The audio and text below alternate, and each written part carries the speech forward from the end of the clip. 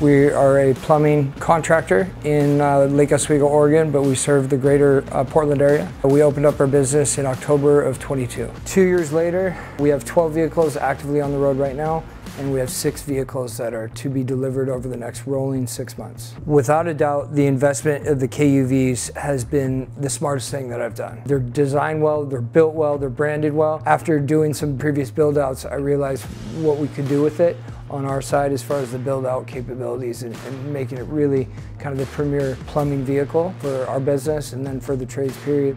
The KUV is unmatched. It's perfect size to fit in any neighborhood, any situation, and having everything right there ready to go. The customizations that Alchemy has done makes our job simplified, makes everything easier. Everything is accessible, ready to go, so I can get stuff quickly and easily, and now we consider it to be one of Alchemy's main vehicles.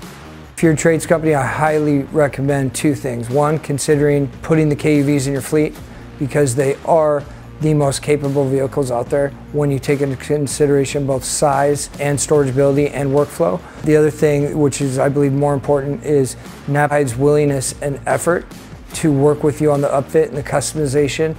They have gone above and beyond